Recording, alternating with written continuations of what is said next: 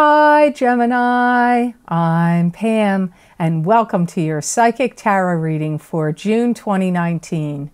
This month I'm using the Hanson Roberts Tarot deck. And remember, these are general readings, and to get messages pertaining specifically for you, you would need a private reading.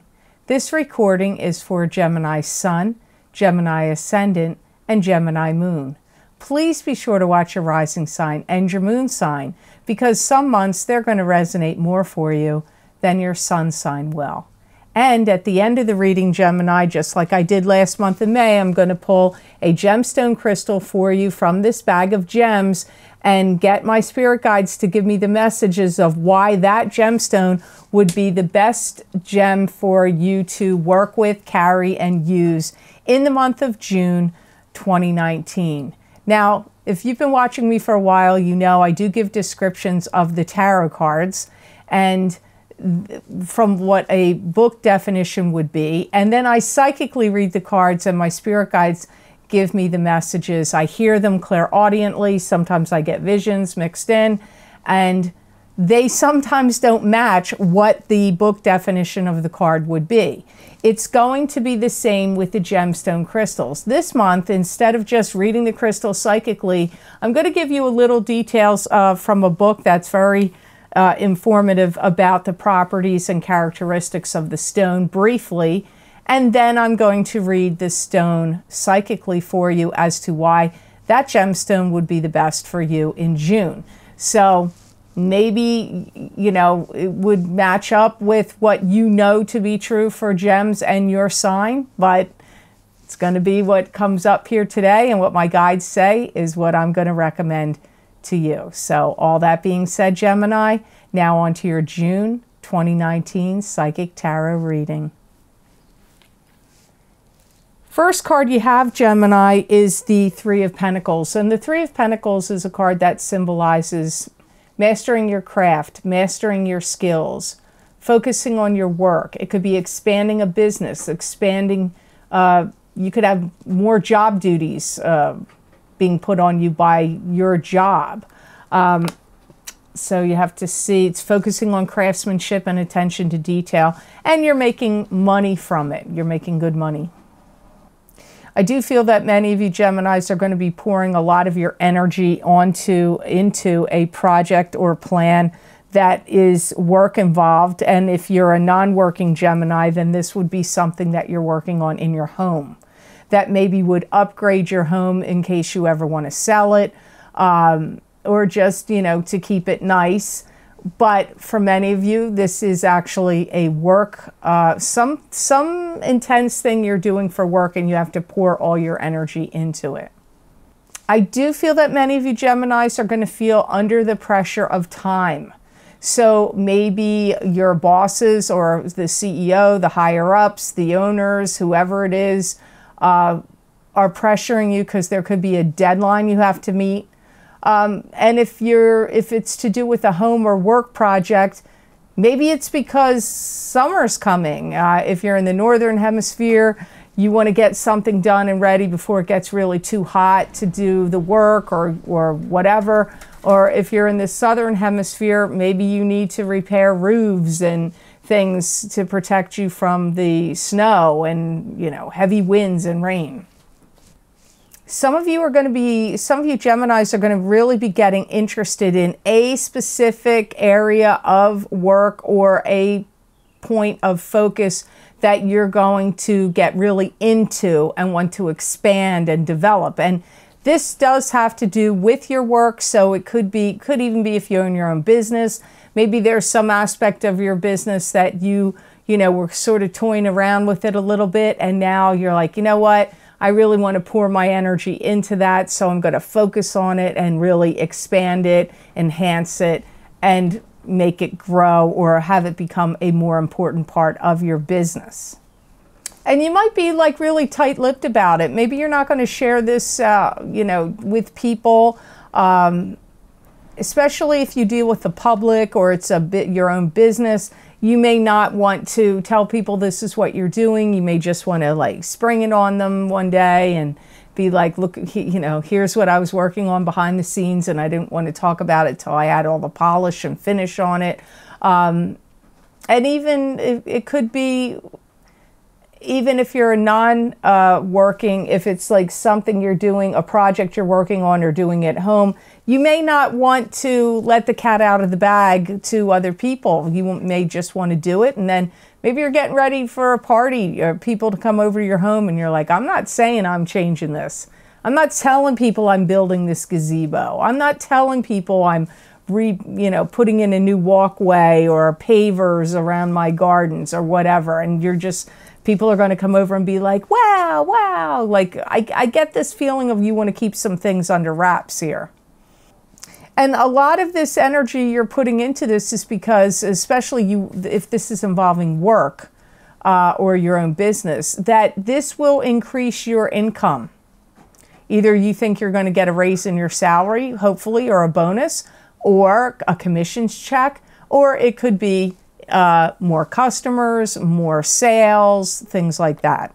So, next card you have could be you, Gemini. You have the King of Swords. Now, the King of Swords is an, er, an air sign, male or female, but it's a king, so it may be more likely to be a male. This would be a Gemini, Aquarius, or Libra, sun sign, rising sign, or moon sign. Could be you, Gemini, here in your own reading there's somebody that you're doing a lot of communications with back and forth. It could be texting, it could be on Facebook, it could be on a combination of things, it could be phone communication, emails, but a lot of back and forth between you and an air sign. I do feel like this is a separate person than you, or it's you, but there's someone else you're communicating with. If they're not an air sign, this could be representative of you. You may feel like in a bit of a quandary about them. You don't may not know really what's going on with them, what what's on their mind, what they're contending with in their life. Uh, not that they're being deceptive to you necessarily it's just that for some reason you have some questions, I feel, about this King of Swords. Or you're the King of Swords and this person you're communicating with is who you are have question about. You may feel like the person you're communicating with is a little bit elusive.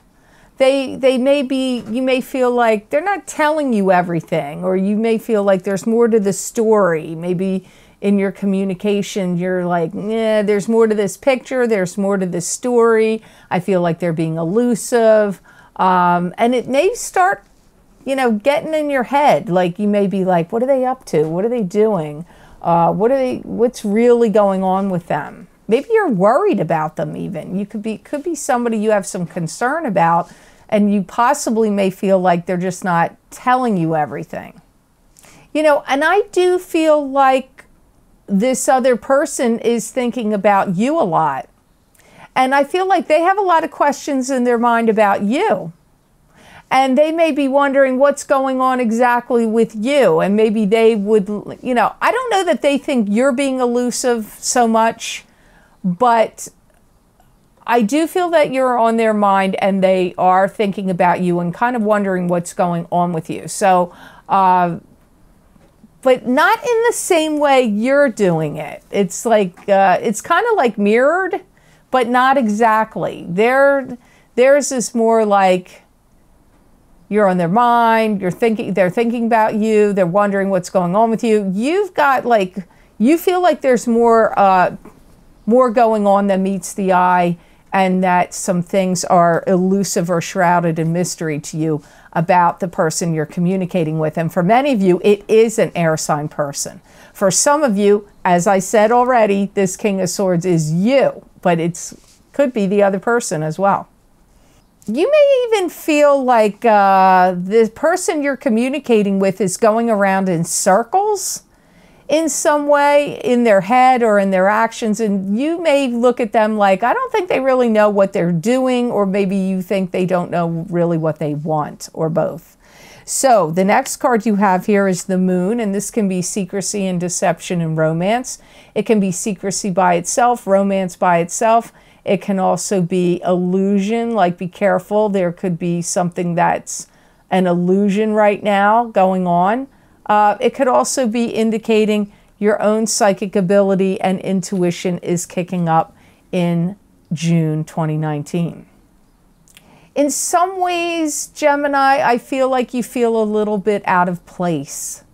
I feel that you feel a little bit like you're a fish out of water and that you may want to feel settled, at peace, and fit into something. But what is it you want to fit into? A new job? A new love relationship? Uh, a new, some other type of scenario? A new business? that you start. I don't know, but there's something that I feel like you want to feel settled and content, but I don't feel that you feel like all the puzzle pieces have fit in for you yet. At least not in June. You may take a trip. You may take a trip and get away and travel because I get I got to get away. I got to I got to travel. I got to get away. And this may be to help you get clarity or to clear your head or to, you know, I don't know. It sounds like you've been working hard and then you're having communication with someone that you're a little bit like uncertain about, like what's what's going on with them. Maybe all of that combined is just like, okay, I need to get away from the whole entire ball of wax and, you know, chill. That may be the feeling you have here. And I really do feel like Gemini, you know there's something changing in you or something getting ready to change in your life and you can feel it. It's like you're on the cusp of some kind of change. And the moon is showing me like it is like your intuition, but it's not necessarily your intuition. I guess it is intuition, but to me, it's more like a feeling. You can feel it which is intuition, I guess you could say. Um, you know you're on the precipice of change in June. Even though the, it's maybe cloudy or uncertain, or you may not be clear what exactly how that change is going to play out for you, but you're on the cusp and edge of it in June. If you take a trip, I do feel there's good going to be a good camaraderie of spirit. Um, like a real coming together. You may it may even be like a spiritual trip. If any of you like have ever taken any uh, um, spiritual retreats, I've done that once and I really really enjoyed it, and I would like to do it again. Uh, but it was far. I live in New Jersey, and it was in Scottsdale, Arizona, and it was it's a little hard for me to get away with my situation with my son and my dog and uh, my older son, uh, you know, my kids are older, but anyway, to get off of me here on this story, um, it could be that you have a spiritual, like it's a, if it's not you going on a spiritual retreat, I feel the trip you take actually turns out to be a spiritual journey, even if that's not what you intended it to be in the beginning. So the next card you have here is the Five of Pentacles. And the Five of Pentacles could be financial bankruptcy, emotionally feeling bankrupt. It could be two people feeling depressed. It could be you and your partner. Um, this there could also be some area where you need to look at your finances and pay attention to them, and maybe you're not focusing on them enough. Like maybe you have some issues with your money and, and you're just not you haven't focused on it and you need to more. I feel like you may be trying too hard to make something happen. And uh, it's like, I feel like the universe wants to give you the message that you need to relax and not build castles uh, in the air. Um, you need to, like, I would advise you from what I'm getting here that it's taken you a long time to build something solid to build your life solidly. And it's going to be best for you to move forward in what feels grounded and solid. If anything feels too pie in the sky and doesn't have enough grounded energy for you, because you are an air sign and I'm an air sign too, so I understand this.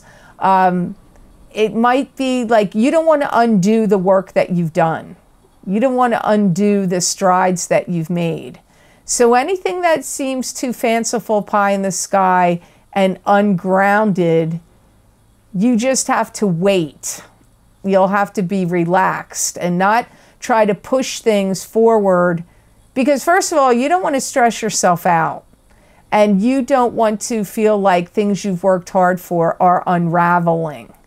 So, best to take a relaxed approach in June. You could have some family member that's actually going to be giving you some problems about money. They may want to borrow it from you, or maybe they borrowed it from you and they're not paying you back, uh, or they're, you know, or they've taken money from you, or they could be doing something else in regard to money around you. Now, for many of you, I do feel that was a family member. It could be a friend, it could be, um, I doubt it's a work associate. This really feels like it's a family member if you have any uh, issues where money crops up for you. Because there's someone in your life, uh, family, I feel, that you can't take them on their word about in regard to money. I just don't feel like you can. It, feels to me like you're not, if they borrow it, you're not going to get it back. If they owe, you know, owe you money for something else, you're never going to see it. So you just have to make sure if you're dealing with family or anybody like that, uh, or a friend, just figure if you've given the money that it's a gift because I really don't feel like you're going to get it back. But that could be bothering you or cropping up in June, or they may come ask you for more or try to impose on you in some way that would cost you money. The last card you have of your reading, Gemini, is Two of Pentacles, and this is weighing your options, having to make a decision or a choice between between two things. Um, and there's emotions tied up here in this choice. You could also be seeking balance. It doesn't necessarily mean you're making a choice about money, it could be, uh, but it's making a choice, having to decide between two things, or uh, seeking balance. Could even be wishy washy thinking. Uh, you could feel wishy washy about something in June. I feel like you're going to be the queen or king of the pros and cons list in June. I see you going, well, what are the pros if I do this and what are the pros if I don't what are the cons if I don't do it? I mean, you know, pros and cons if I do it, pros and cons if I don't. I do feel June is going to be a bit of an emotional month for you Geminis and I feel like you are going to be swept away and your emotions are going to be getting the better of you. And you know, um, I, am not sure if this is true for Gemini. I suspect it is, but I know, uh, you know, Aquarians uh, tend to think with their, you know, not with their heart, with their mind, although it depends on your rising sign and your moon sign. You can't really go by that. But, you know, uh, maybe there's some similarities between Gemini and Aquarius, but I'm going to tell you right here, uh, you may have a tendency to either your head is going to get the better of you and it's going to be working overtime, or you're going to get swept away on emotions in June. And a lot of it is going to be about how you play something out. It could be how you handle a romantic situation or a romantic partner that you're intertwined with uh, or someone you meet. It could also be about what you're going to do in some regard in your work situation and in your business. Uh, like what you know, maybe there's some like pressing choices you're being confronted with in June. I do feel like you're going to resist your urges though. I feel like you're extremely strong willed when you want to be. And so if you're like uncertain and there's some urge to splurge or some urge to get deeply involved with somebody or some urge to make gigantic leaps and strides with your business, you may, or work, you may uh, have really good resistance about it. And you know what? That might be the wise thing to do in June because I don't know the actual dates when Mercury goes retrograde. I believe it's in July. But therefore, then the uh, shadow phase is going to start in June. And sometimes I find, I don't know about you, Gemini, but sometimes I find the shadow phase, I'm like well in, it's like they might as well just say Mercury in retrograde started on the day the shadow phase started because sometimes that kicks me in the butt just as bad or worse than once it's really rolling along. So uh, you may be waiting out of good sense because you do have the card of illusion here. So anything you've got uncertainty about, anything, work, love, whatever, and you're wishy-washy about it and you're weighing the pros and cons and you're making your lists and you're thinking about it, but your emotions are getting swept into it. Um, I do feel like your self-control and your disciplined self is going to kick in and take over. I do. And by the way, Gemini, I am so sorry I forgot to say happy birthday to Gemini. I wish you a happy solar return and I hope you have a fantastic year. So now I'm going to look into your uh, gemstone crystal, pull a gemstone crystal for you, and my spirit guides will say why this stone is good for you. So let's see, what's the stone that's the best for Gemini to work with, meditate, carry, sleep with under their pillow, put in their bra, put on their chakras. Gemini for June. What's the best crystal for Gemini for June? Oh, you have lapis. So you got lapis lazuli. So I'm going to read in the gemstone book I have a little description, not long, about why this stone is good for you uh, or why what the properties are of the stone, and then I'm going to psychically read it why it's good for you for June 2019. So the properties of lapis lazuli are it's silicate of sodium, calcium, and aluminum with some sulfur. It's opaque with flecks of iron, iron, iron pyrite. Nick, I'm going to say that all over again. The properties of lapis lazuli, the type of stone, is it's a silicate of sodium, calcium, and aluminum with some sulfur. It's opaque with flecks of iron pyrite. The color, it's rich medium to royal blue, violet blue, and azure, even greenish blue, sometimes mixed blues. The symbolic associations with lapis are the zodiac sign of Libra, the planet Jupiter, the element air, the guardian angel Sahaquiel, and the third eye chakra. Lapis is inspiring for all night magic, especially under the stars and for psychic protection. Use it also for meaningful and prophetic dreams. The Sumerians believed that lapis lazuli contained the spirit of the deities. The ancient Egyptians also regarded it as the stone of the gods. It was partly because it reminded them of the starry heavens, but also because, as shown in the papyrus Ebers, lapis lazuli had medicinal properties that improve eyesight when worn in the form of the Eye of Horus amulet or powdered around the eyes. So now I'm going to psychically read the lapis stone for you, Gemini, for June 2019.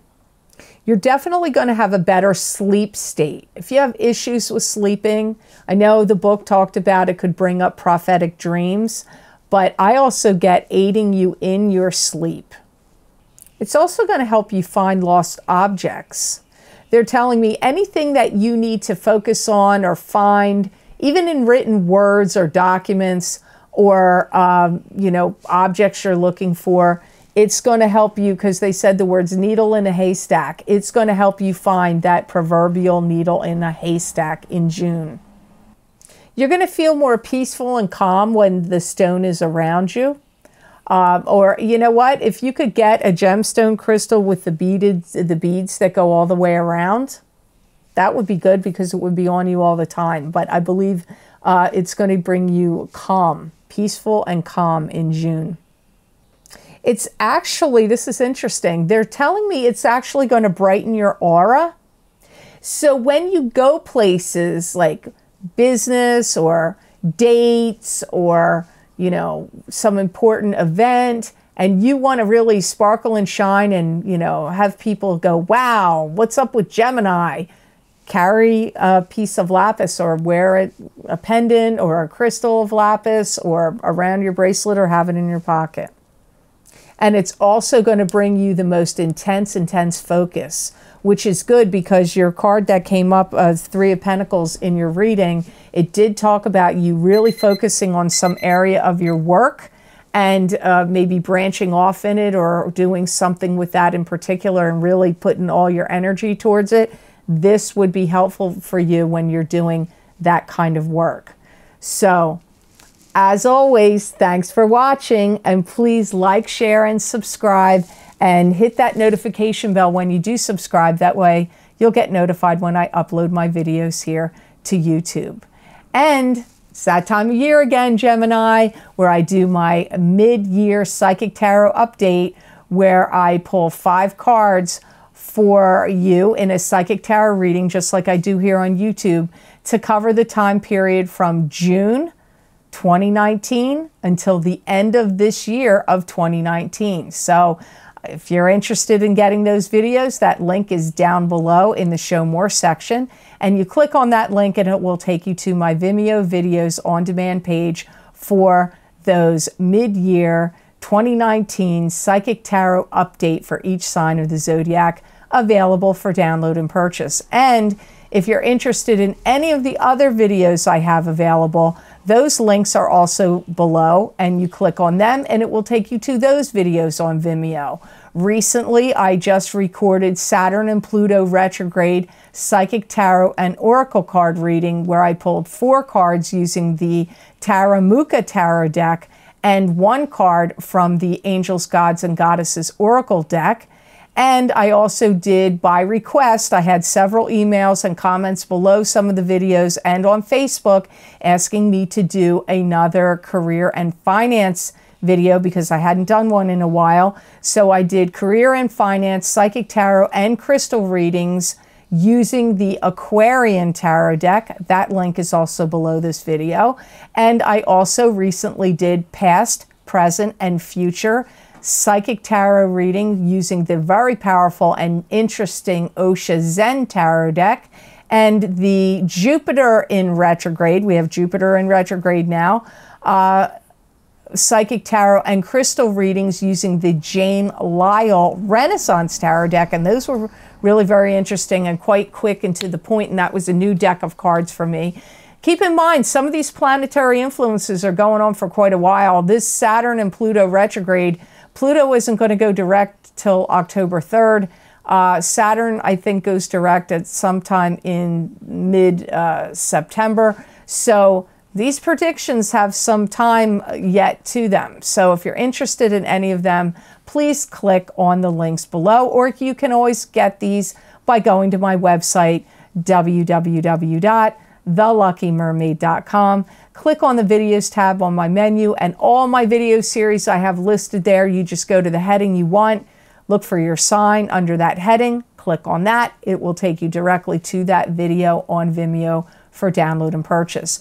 Also, if you would like to get additional psychic predictions and messages from me and my spirit guides that you're not going to see here on YouTube, you can follow me on Facebook at The Lucky Mermaid LLC and The Psychic Pastry Chef LLC. And please check me out on Instagram at The Lucky Mermaid underscore Pam Georgel. And I post videos I there. I also do use my crystal. I give messages for, from my guides from using my crystal, from the tarot cards, from oracle cards, and I don't post those here on YouTube. So you might want to check those out. So I hope you have an absolutely joyous and jubilant June, Gemini.